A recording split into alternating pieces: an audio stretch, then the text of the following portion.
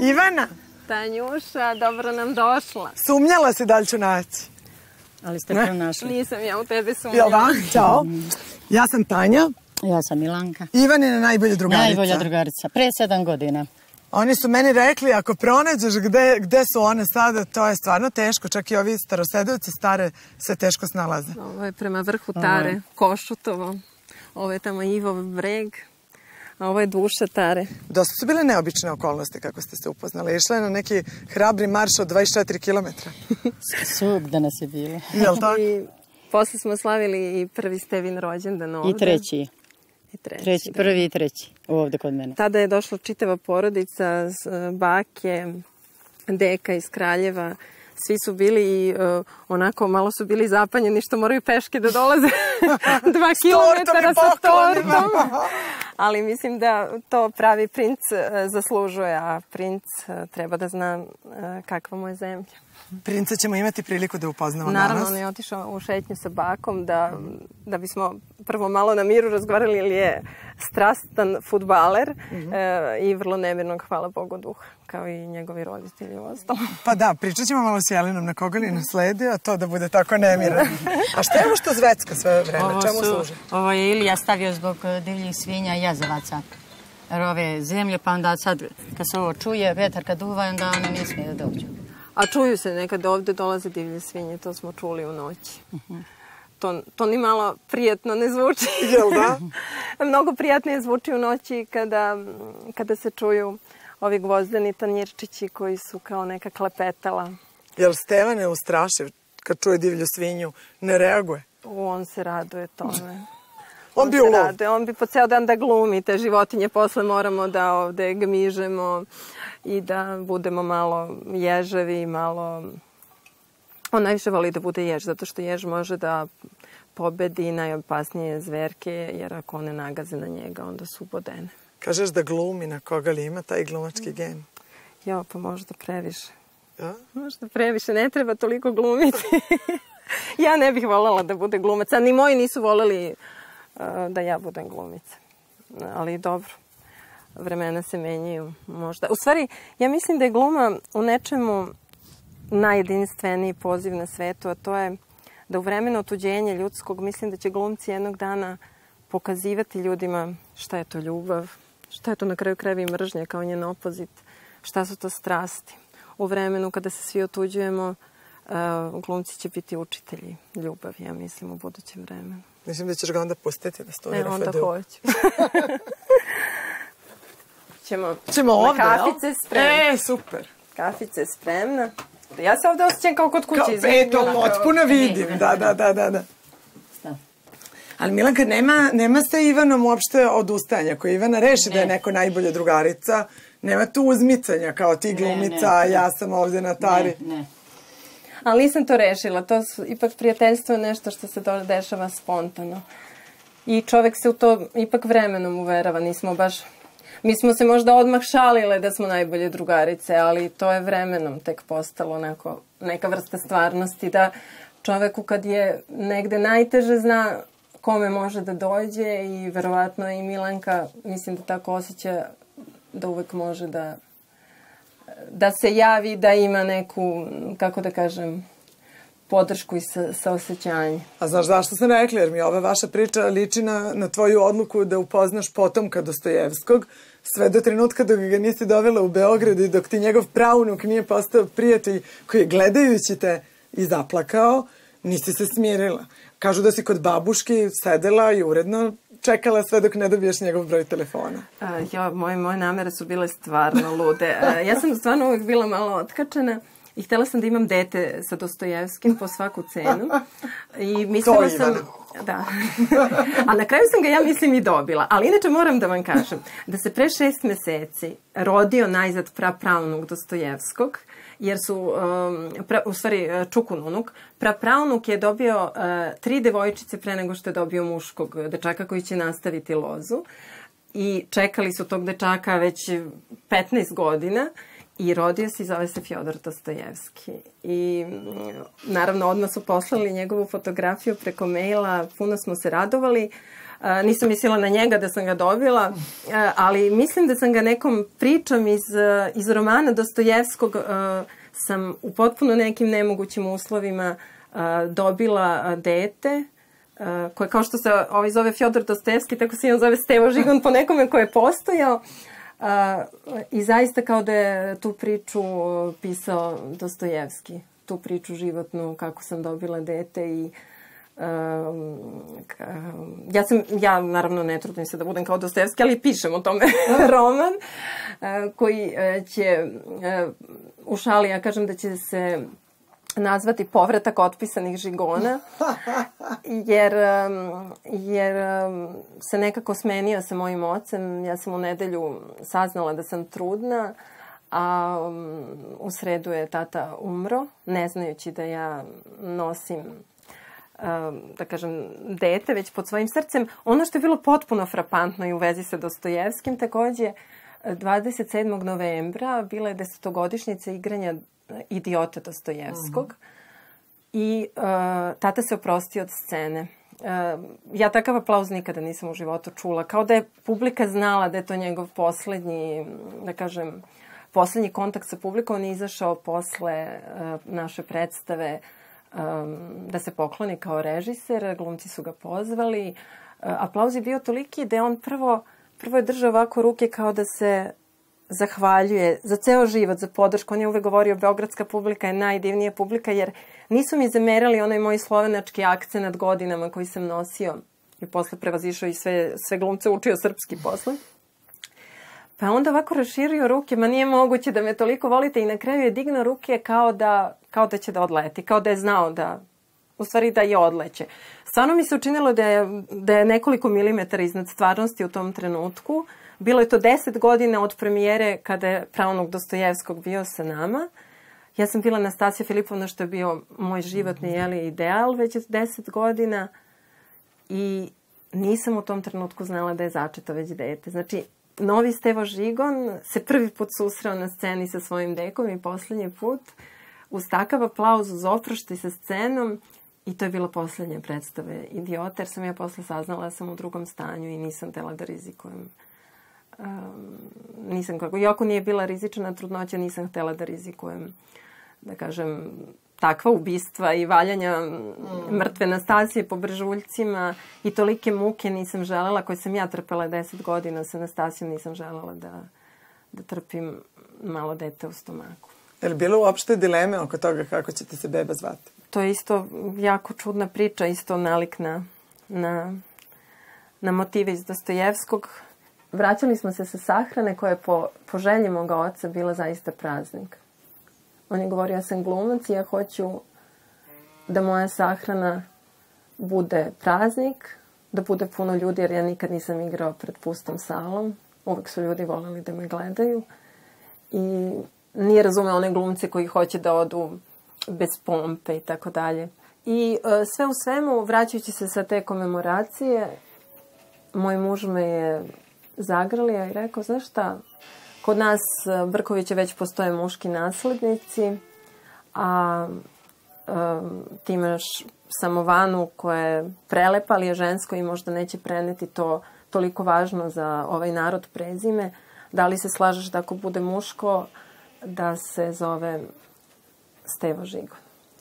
I ja sam rekla, pa ako je muško, mnogo ti hvala, onda možda i jeste Stevo Žigon, jer su se tako smenili da je to bilo prosto, prosto neverovatno, jer deset godina je tata, da kažem, umirao i živeo čudom i voljom e, za koju su doktori bili zaprepašćeni, s obzirom na brojke i diagnoze, kapacitete pluća i tako dalje, ali uh, i ja sam bolovala i od mene se nije očekivalo. Dete i onda u takvom jednom trenutku smenili su se tako neverovatno da zaista je dete dobilo ime zahvaljujući blagorodnosti e, moga muža i voljom sigurno Božjom, voljom sudbine, voljom prirode. Pa ova priča svedoči o tome da si se stvarno lepo udala, da ti je muž dobar čovjek. Jeste. Čime se bavi? On je sada počeo da se bavi tenisom i pošto jako lepo radi sa de decom, osnovao je tenisku školu, upravo je zato zauzet jer je počela školska godina i, i tako vrlo lepo radi sa decom. Ta neka volja o kojoj pričaš je očigledno porodična neka osobina, da se ono što se zacrta izgura. Govorila se o tebi da si vrlo odlučna, pa se sećam jedne priče nekad davno za prvu ulogu koju si igrala kad si igrala Milevu, kad se nisu dobro prodavale karte, da si se pojavila u marketingu pozorišta i rekla ja ću da prodam sva, sva mesta u sali. To je bilo strašno. Išla sam... To beše neki 6. mart uoči 9. marta, Uoči 9. Jel? marta, kada je ceo Beograd buntovao, a ja nisam. A, um, a, a, znači, ja nisam znala da će biti 9. mart i zato sam preuzela karte na sebe i mislila lako ću ih prodati, otići ću u neko preduzeće, snaći ću se već nekako. Međutim, ispalo je tako da preduzeća nisu radila zbog 9. marta, da je sve bio apsolutni propast. E, to kažeš, uvek, za, uvek uradim ono što zacrtam, ali uvek uz tešku muku. Znači, nikad mi se ništa nije dalo na tanjiru. Mislim da sam maltene jedna od redkih glumica koja, koja nikad nije dobila ulogu tek tako. Onako, evo ti uloga. Recimo, o, kod Ace Popović sam dva puta igrala samo tako što je zahtevao i nije dao tekst ako ja ne igram. Ja sam jednom priliku u Ćirilovu rekla, bila sam mlada, 23 godine, namerno sam obukla minić, sredila se ovo, ono, došla i rekla, došla sam da vam se zahvalim, što mi ne date da postanem tek tako glumica, nego što mi pružate priliku da se jako borim. Ali imate jednu sreću što Šekspir, Čehov i Dostojevski nisu živi, jer bih onda igrala sve uloge, pošto svi živi pisci traže da ja igram. Ali stvarno imao sreće. Ali imala sam posle i ja, odigrala sam ja i puno Dostojevskog i Čehova. A dobro, je ustukneš tako sa 400 karata neprodatih? Ne, nisam ustukla i otišla sam u Skadarliju. -huh. I um, otišla sam i sa Milanom Erakom, pokojnim glumcem, dobrim drugom. On je igrao u predstavi. I išli smo od stola do stola. Ljudi me to nisu poznavali, to je bio početak moje, da kažem, karijere. Dete, ja sam se predstavljala, ti Ivana Žigon, da dolaziš ti nas da moliš da dođemo kod tebe, mesto mi pred tobom da klečim, jedan je pijan klekao. Mala, daj 16 karata! Pa me grli, popi jednu sa mnom. Evo ja do dana današnjeg popila sam samo jednu rakiju pre neki dan kod komšije. Ovaj, I to neku super sa koprivom i sa medom koja je stajala u zemlji 40 dana. To mi je bila prva rakija u životu.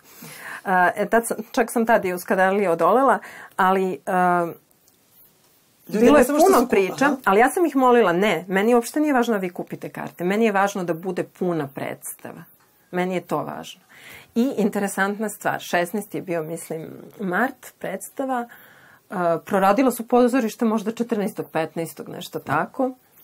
Krcata je bila sala. Sve ostale sale su u Beogradu bile prazne jer se Slobodan Milošević obraćao prvi put narodu posle 9. marta. Ulice su bile prazne. Sve je bilo prazno osim Beogradskog dramskog koji je bio krcat ljudima jer su videli tu želju. Ja mislim da je želja i ljubav prema nečemu ne odluka i rešenje i upornost. Mm -hmm. Mislim da je um, odraz um, tih mojih želja koje su se ustvarivali više u snazi želje nego u toj na izgled nekoj uh, nevalentnoj odlučnosti.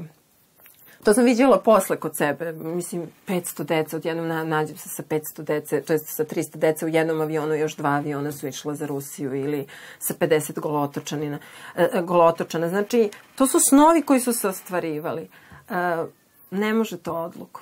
E, to je pre neki blagoslov koji ti dođe, onako, baš oni pravi vernici to postižu molitvom. Ja sam, čini mi se, to postizala nekom verom u bajku koja se rodila zato što sam ja živela u pozorištu i u, u pozorištu se sve bajke ostvaraju. Kad je želja u pitanju, je na, na privatnom planu najjača želja bila da dobiješ dete? Uprkos bolesti, uprkos preporukama da to, to, to nije Iskreno dobro. ću vam reći, uopšte svesno ne. A, znači, um, verovatno sam to kompenzovala radom sa decom. Znači, ja sam već imala svoju porodicu dece, 15 dece u kosovskim mm -hmm. božurima. Mi smo bili porodica, mi dok se nije rodilo dete, moje, nažalost, posle to moralo postati manje, taj rad manjeg obima, ali i danas smo porodica. I danas puno i putujemo i radimo. Znači, al, do Stevinog rođenja odigrali smo 150 koncerata. Mi smo se, kad Maju zaboli zub, ona spava sa mnom, mi se grlimo. sećam se u Francuskoj na nekom putovanju, kada Dragana ima glavobolju, to je cijela noć uz nju, to je kada ja zaplačem nešto, jer sam isto onako malo previše osetljiva, uh, oni su svi oko mene i grle me, nacrtaju mi crtež, to je bila jedna prava porodična ljubav i meni se činilo da sam zaista ružne reči iskompenzovala, Bože me oprosti, ali mislim, razumećete šta hoću da kažem. I nisam, da kažem, nisam ovaj, bila svesna toliko te želje. Nekako činilo mi se da je nemoguće i Znate, ne treba čovek sebe mnogo da zavarava nečim što je nemoguće i sada da pati za onim što je nemoguće. Treba da čini ono što je moguće, po mom mišljenju. E, naravno, lepo je kad se desi nemoguće. Meni se desilo nešto što je skoro nemoguće i sad shvatam da sam to želela, ali nisam tada to bila svesna. A bilo posle ikakve dileme o tome da li je nemoguće treba ostvarivati ili ne, jer nije, prosto, po tvoje zdravlje nije bilo dobro da ostaneš u drugom stanju. Pa dobro, ja sam već tada bila neko vreme zdrava, ali zaista je bilo čudno s obzirom na lekove, na sve uh -huh. u to vreme, pre šest godina, šta sam sve preživljavala i doktor Čodić, koga je zove mađioničar, uh, kada je čuo da sam u drugom stanju, um, svojim genijalnim duhom uh, nije se pokolebao. Znači, mnogi bi se uplašili, mnogi me ne bi podržali, ali on je rekao kada se desilo čud, treba ga podržati. I ovaj, zaista bi bio, po mom mišljenju, bilo ko kakav prekid života je veliki greh, a kamoli kada se desi kao takvo čudo, neki, neki veliki blagoslov. Desilo se i to sam otpoštovala i bila sam spremna da platim zaista, da kažem, i visokom cenu. Je li ovo što je projurilo, to je Steva, jel? To je Steva. Moj futbaler. Dobar dan. Jelena, kakva je bila šetnja? Šetnja do Bulibanovaca, obična, svakodnevna. Opa, lepo. Je li jurio non stop tako? Tako, skoro. Pa, da sednemo ovde pa da nastavimo razgovor na koga je takav, kakva je bila Ivana. Pa je li bila stvarno tako nevaljala da ste vi kažu svoje vremeno pravili prave male pozorišne predstave tako što biste zaustavili milicionera i žalili se kako je ona nemirna? Ne, nije bila nevaljala, bila jako Nemir. poslušna, ali je bila nestašna, to jeste i radosna. Ne, ne, ne, moja mama je volela da pravi pozorište svuda.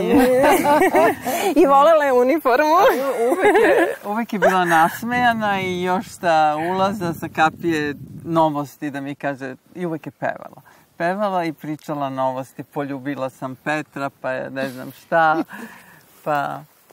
I, inače je bila jako dobra, odlična Vukovac kroz sve razrede. E, ne bi stvarno o tome. Pa dobro, bila i sama. Stvarno je bilo i suviše davno. Ne, ne, sama je učila i nije, bila je vrlo poslušna. Znaš šta, sve ovako... mame su uvek ponosne na to kakve su im džaci bila deca. To je neverovatno ne, koliko god vremena. Nije morao da je pomaže, sve sama radi. Tata nije znao ni koji sam razred i jednom je otišao na roditeljski, naravno ne znajući koji sam razred i zaspao je. I onda je, ovaj, i onda je razredna šapte, šapćući držala da, ali objasni zašto on je igrao Krigera pa je bio Da se kao Kriger ne bi probudio. Mislim, to je bilo... Eto, moje detinstvo je bilo u velikoj vezi sa, sa otpisanim, jer su me se svi plašili da dođu kod mene kući. Pa je istina da su i deca ovaj, se uplašila kad si imala neku malu operaciju, pa je tata došla da te posle... creva, to je stvarno nestvarno bilo. Uvek je, naš život je stvarno uvek bio na ivici dva sveta, realnosti i te pozorišne iluzije ili, nije važno, televizijske. Um, ja sam se budila iz um, anestezije i okružu, okružuju me deca i viču Haj Hitler. kao da me ut... jedan, oni su se ovako je pozdravljali. Hteli su da me uteše, deca su dobra, kao došla Nemica, ne zna ni reči srpski, ja valjda je ukala. kako, kako smo je doveli, ona je ukala, onda su rekli, ja, doveo Nemac čerku, ne zna reč srpski, kaže, ne zna reč srpski. Jedino, stvarno imala sam najdivnije roditelji koji su mi preneli svoje bogatstva. Njihova bogatstva su bila oci uh, bogatstva uma čitavog sveta, jer glumac u stvari u sebe upija sve ono što je najpametnije napisano na, na svetu. Stvarno sam imala predivno detinstvo. Jedino što im zameram, što sam selo prvi put videla sa 18 godina i kao što vidite ja to nadoknađujem svome sinu. Stvarno sam tragala za zavičajem. Mislim i ta putovanja i po kozovskim selima kuda je zapravo prva moja mama krenula i u Republiku Srpsku za vreme rata i svuda ona me povela tim putevima je bio zaista potraga za, za jednim istinskim zavičajem, za, za zemljom koju možeš opipati, za korenom. I mislim da se zato osjećam u prirodi ovako baš daleko od civilizacije, jako zaštićena. E, nekako i u svim bitkama uvek sam se borila na više frontova. E, sam se osjećala da sam okružena ovde vojskom ovih, e, da kažem, tarskih jelika koje su po meni obučene u najlepše uniforme na svetu i e, činilo mi se da neće dezertirati, da, neće, da me neće izdati ni u jednoj bitci, jer imaju svoj koren. A, evo. To je domaća A, to je čuvena. Čuvena pita. Juče ga je ulo Jel ti još ovaj oteklo ljubavi? Jeste, oteklo me. Evo još mu je oteklo prstić. Ua! E. Još jedan. Pa nekad, mi se ne plašimo se, tako? Najlepše kad se ta energija vrati kao čista energija. Recimo, meni se dogodio jedan događaj koji pamtim kao jedan od tako nekih važnih znakova u mom životu. Ili bumba. Nije bumbar, samo je os. Paz. E, ti si bio u stomaku. Ja sam recitovala na jednom ispraćaju našeg bivšeg predsjednika Slobodana Miloševića. Niko nije znao da sam trudna i imala sam pelerinu mm, i niko nije mogao da sluti. Kada sam završila pesmu, jedna baka je povikala tako jako da se čula iznad svih aplauza, povika, usklika da Bog da sina rodila. To se čuje, mislim imam snimak na RTS-u da se čuje to mm, da Bog da sina rodila. Ja sam to čula i skoro sam se za- zaledila. Znači, to je bila želja naroda prosto u tom trenutku da mi se zahvali za to što sam tamo. To je bio narod koji mi i danas kad prođem ulicom stisne ruku i kaže hvala. I uvek ga prepoznam upravo po toj nekoj skromnosti, a po meni to znači i poštenju. I to me negde usmeravalo da nisam, kad se preispitujem jesam li na pogrešnom putu, jer po meni samo, samo lud čovek sebe ne preispituje da li je to stvarno sa što se ti boriš Ivana pravo. Imam u porodici, tetka me grdi kako možeš, ima sa svim pogrešno, imaš pogrešna shvatanja, prepiremo se, um, nekad i sebi kažem možda nisi u pravu, ali kad vidim s kim sam bila na tim protestima, uvek e, nekako znam da sam u pravu. Eto, po tome negde sam imala na, na tim velikim nastupima protiv e, tog svetskog poredka, kako ja doživljavam, kao moj bimbo kad nasrće na jačeg. Ja sam vrlo svesna da, na, da uvek kada izlazim nasrćem na mnogo jačeg od, me, od sebe. Ovaj, uvek dobijem neki znak. Mnogi su te vezivali za, za određene političke stranke. Jesi bila neka član stranke? Nikad nijedne, nijedne političke e, član nijedne političke stranke, nikad nisam potpisala, čak ni, nisam bila ni član Saveza umetnika, jer sam toliko um, antibirokratski nastrojena. Ja, ja sam toliko uh, u tom smislu blesava da nisam uzela čak ni vozačku dozvolu koju sam položila sa 19 godina. To je jedan od redkih slučajeva, verovatno, u Srbiji da položiš vozačke, da ne uzmeš dozvolu. Znači, nikad nisam bila član, uh, sem društva čiji sam predsednik.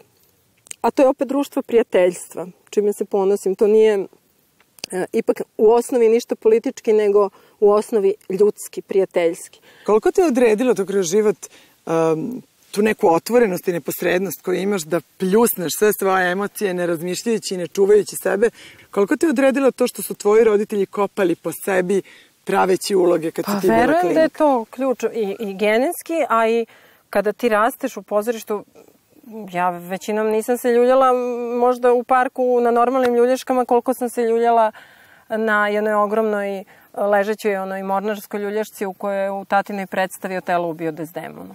Znači ti ono, ljuljaš se, dešavaju se tu neke, neke energije koje deluju na tebe i gledaš oca i majku kako zaista otvaraju svoju dušu i misliš da je to normalno. Dobro, možda bi i trebalo da bude normalno, da smo svi otvoreni, ali u svetu u kome nisu sve otvoreni, zaista je teško i e, shvatila sam da onaj koji je najotvoreniji i najosetljiviji u stvari mora da bude najjači da bi to izdržao. I, I Da. dan danas je, o, imam tu zaista potrebu da od od realnosti napravim nešto što je više od realnosti. Ja to kažem nekoliko milimetara iznad nadmorske visine Da, stvarnosti. to je čisto njeno. Ona to nije na roditelje, to je na njena. Mogu da vam donesem knjigu o pozorištu. Ovaj, Ali hoćeš- kaži da si prvi aplauz dobila tako što si sedela u publici, a dobacivala si tati na sceni. Jeste, vikala sam tata, tata i pošto su svi mamu prepoznali koja me držala u naruči, shvatili su da sam čerka onog Pigmaliona. To nije bilo pristojno, Pigmaliona, ali, ali je to ušlo u deo komedije i svi su se nasmejali i nastavila se Ne, predstava. prvi, prvi honorar ti je bio na hvaru kad ti je Nemica dala 10 dinara što si pevala u, u ranu zoru. Pa da, ne moramo baš svima pričamo koliko smo ludi, mislim. E, idi molim te po tu knjigu, a Jelena ja još malo Ne, da hoću da popričamo. vratim sve da ovo. Reći ću kakav je bio drugi honorar u Parizu. E, znači, e, bila, imala sam možda 19 godina, tek sam upisala akademiju i e, nisam znala ja mnogo tih pesama celih na ruskom, ali vidim na Montmartru, a moramo da se vratimo kući jer nemamo para. Ja vidim na Montmartru svi ono nastupaju i ja sad nađem neku svoju cigansku suknju i ono stavim šeširiće, ona sedi, pije lepo, uživa kafu, kafiću, da. baš nju briga ona u I čeka kafeu da i plati. čeka moj honorar da plati kafu. Svako Dobro. veče, tri večeri sam pevala, sve večeri e, je bilo toliko puno da je došla policija da me zamoli da odem na drugo mesto jer vozić nije mogao da prođe. Znači imam svedoka, ništa ne lažem. I e, došao je jedan poljak violinista, vrlo interesantan, i on me ovako pratio. A u prvom redu su mi bili e, svako veče e, klošari, e, Pariza i davali su mi pare. I e, ovaj, e, publika celog sveta je bila tu i tad sam već e, shvatila da oni koji su bogatiji daju manje novca nego oni koji su siromašniji. E, To sam vrlo, vrlo lepo procenila i odlučila sam i ostala posla u jednom ruskom restoranu i pevala sam jedno dve nedelje. Molili su mi da ostanem. Gazda mi je rekao, znaš šta, ja vidim da ti pojma nemaš te pesme, ali ti toliko privlačiš publiku i toliko dobro pevaš da bi te molila, molio da naučiš pesme i da ostaneš. Ali na taj način na koji si uspela da isfoliraš da znaš pesme i da napraviš pravu malu predstavu, nisi uspevala to da radiš samo upravnicima restorana, nego i upravnicima pozorišta. Pa ako se ne je- jedina osoba koja je branila Aleksandra Berčeka u vreme kad je bio upravnik Narodnog pozorišta si bila ti, ali si uspela da kreiraš repertoar na pa malo lukav, a vrlo ženski način. Ali samo da kažem, ja sam ga branila to u mom stilu, te kad je to bilo na moju štetu, kad je prestao da bude upravnik.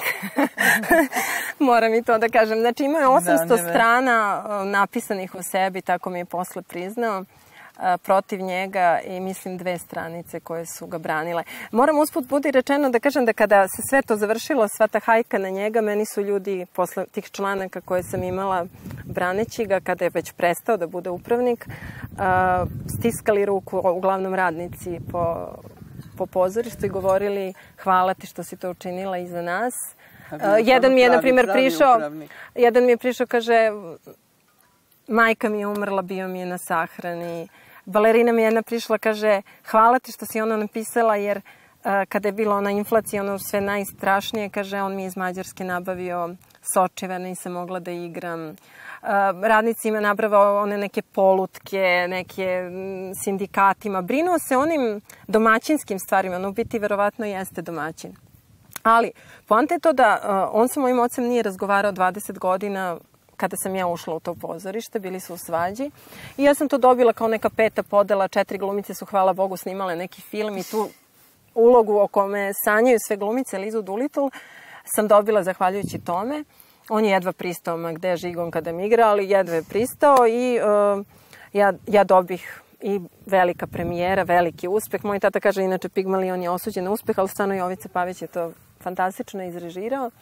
Petar Banićević je bio Pigmalion profesor Higgins i napiju se i moj tata i Berček i izmire se u suzama psujući jedno drugo na premijeri i na neki način tako sam primljena u Narodno pozorište jednom, jednim velikim pomirenjem dva velika glumca i čoveka.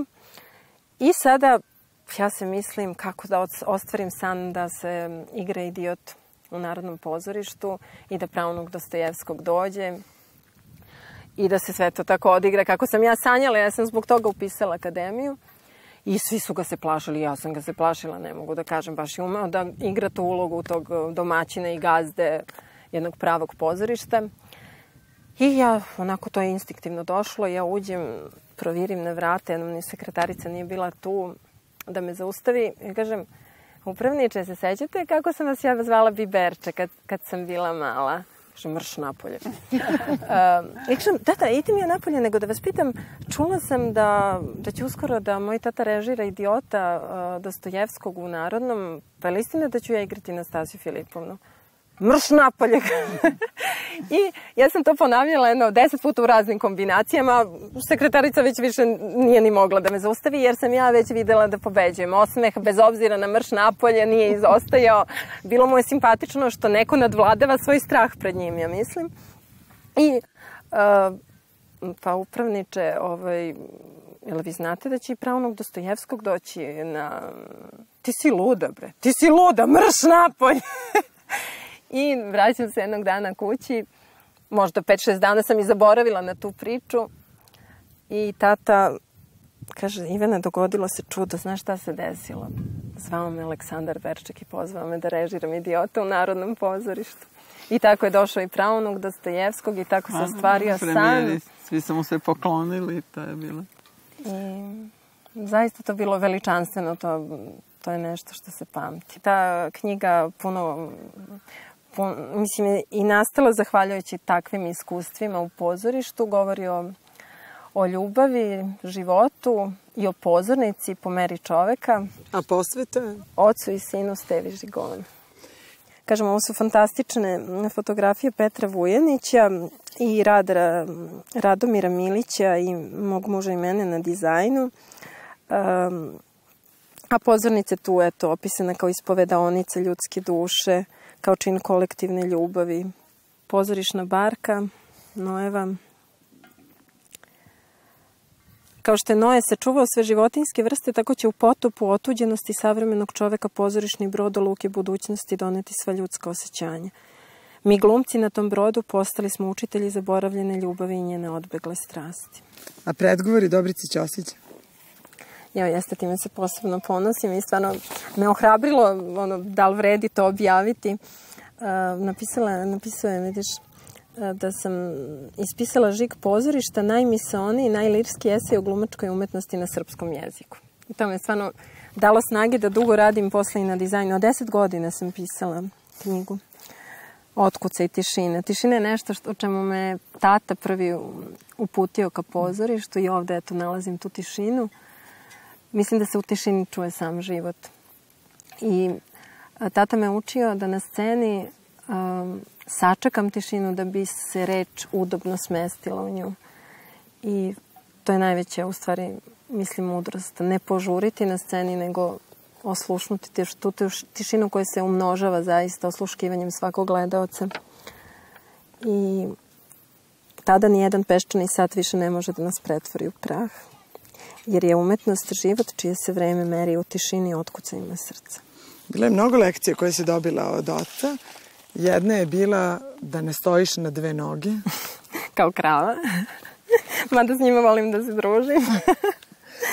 Jedna je bila da se, kad je važna replika, leđima okreneš partneru i daš da sebi. se ovako okrenem. Aha. Da to, mislim da to prosto ima neki, kako da kažem, akcenat bilo je tu nekih stvarno tajni. I tako sam i došla na akademiju kao jedna totalno nevina devojčica, potpuno isto van civilizacije. Nikad nisam ušla tad ni u jedan kafić, ni u jednu diskoteku. Bila sam potpuno zastranjena, ko što evo i sad bežimo od te vrste civilizacije. Um, I meni je tato prvo rekao, pa jesi normalna, ti na, ti na akademiju, pa ti ne umeš pošteno ni da govoriš, ti nešto mrmuljiš. Međutim, kada me je čuo, ja sam u pota ispremala baš na Stasiju Filipovnu i kada me jednom video nešto kako urlam na nekog vuče kako je napao našeg psa, rekao mi je, pa ti si preprava veštica, mogla bi da budeš glumica. I a, bila sam stvarno opet nesrazmerno biće. Jedna užasno nevina devojka, m, nekako ne pripadajuće svojoj generaciji, baš su bile frajerke na mojoj klasi, dolazile na motorima, ono, ja sa suncobranom. Ali sa nekim tajnama um, jednog majstora koje mi je šaptao koje su mi nekad vodile napred, a nekad su me i kvarile, jer mislim da je nevinost ipak ono naj, najvažnije u životu i na sceni. Da je ono do čega sam dođeš opet, opet najvrednije. Idemo na ovu, ovu scenu zelenu. Čekate majka dole, gde ćete probati za koncert 20. oktobra u Beogradu. Ja nisam skitnica. Ćute jabuke, Ćute jabuke, ćuti orah, ćuti orah, ćuti hrast. ćuti hrast. Zar i njih da ostavim, da zaboravim? Treba li da zaboravim lastavicu koja mi kućom označavaše kuću? Hoće li ona za mnom, bez cvrkuta, bez veselosti? Praštaj lastavice, Preleteše ptice lastavice,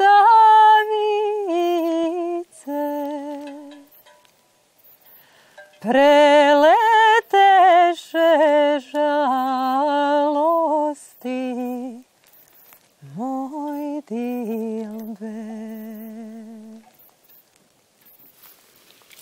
tako nešto ćemo, iskombinovati ćemo se, mislim nećemo baš ovako, ali uh, bit će to u stvari scena tog putopisa kroz Kosovo i onda ćemo krenuti dalje i na ono, Kubu doći će i u dan, Rusiju. morat će doći dan kada će smognuti odlučnu reč. Da, to je vrlo bitno.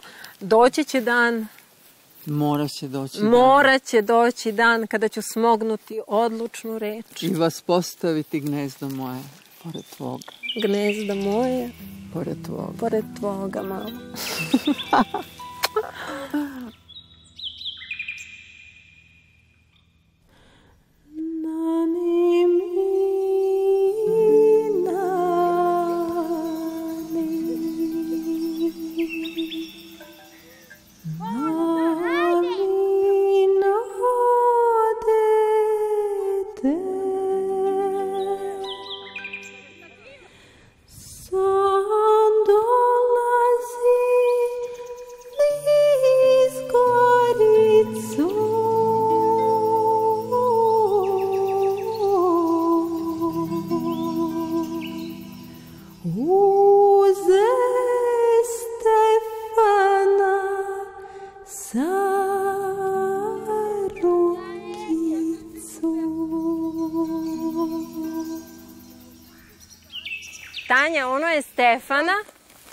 telence što je dobilo ime po Stevi, zato što je stalno beži od mame i onda moramo da idemo a, kod majke da se ne otrgne jer ona posle juri za teletom. Jeli, Ivana, ko će za njim trčati kad mi sad odemo na omaž momi kaporu? Pa ti vidiš koliko sam ja oslabila? a? ja trčim po ceo dan. Znaš šta to dobro zvuči? Da otrčeš stare na čitanje Zoe, isto u prirodu, ali na Adu Ciganliju i da se ponovo vratiš. Jeste, ali da Steva ne čuje ovaj, da ću da odem i da ću da se vratim. Pošto će da ostane sa mamom, a nas dve jurcamo na Adu.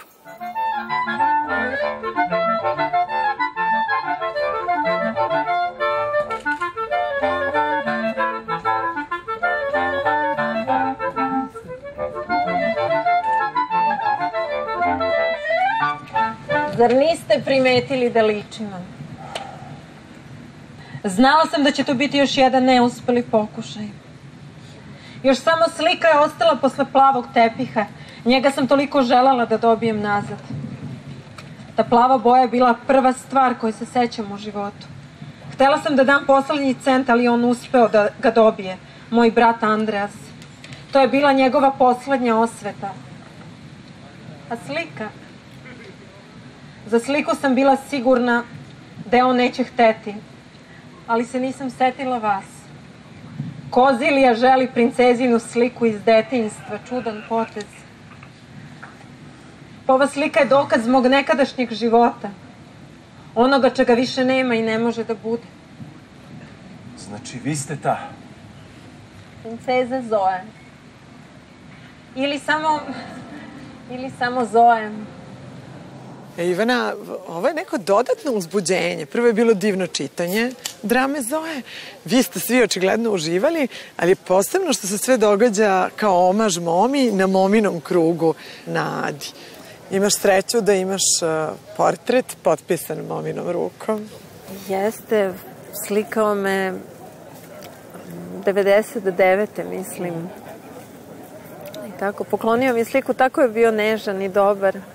Baš u trenutku kada mi je bilo jako teško, bila sam bolesna, mislila sam da su me svi zaboravili i on me je pozvao, nismo se dobro ni znali ovako i uh, uradio je portret, napisao je Jovanki Orleanki i zaista me dirnuo. Dirnula me i njegova ljilja. Spremili su posebno neku, tada sam bila na makrobiotici, neku makrobiotičku večeru i tada sam shvatila da je prijatelj, da je pravi prijatelj. Ali takva podrška znači onako da se ide napred. Kako da ne? Onda posle toga smo išli zajedno na Taru, eto nimala slučajno Da. posle današnjeg dana. Dana na Tari, da. Eto sve, sve je povezano.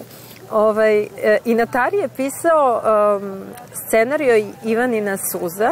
Sećam se, um, nešto smo pričali o novoj godini u šetnji, nešto je momu pomenuo i pošto smo se toliko svađali o tome da li postoji ljubav, ne postoji, ja sam htela da mi on um, da neku veliku ljubav u filmu, jer od mene bez ljubavi kao nema ništa, a on nije hteo da ljubav bude u centralnom delu filma, nego uh, da, da to bude, um, da kažem, ona je radila na tome da obnovi šljivik svoga dede. On je hteo da to bude centralno, ja sam htela da to bude uz veliku ljubav. On se nije s tim slagao i mnogo smo se oko toga kao svađali, obožavali smo se.